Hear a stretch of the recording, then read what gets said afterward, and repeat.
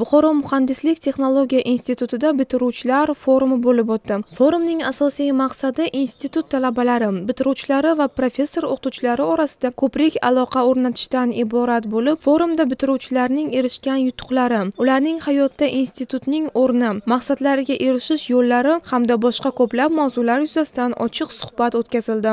Man buxoro muhandislik texnologiya institutini to'rt yil mobaynida professor o'qituvchilarimiz ustozlarimizdan olgan bilim va ko'niklarimiz orqali hozirgi kunda neft gaz tadqiqot aksiyadorlik jamiyatini boshqaruv raisi bo'lib ishlayapman.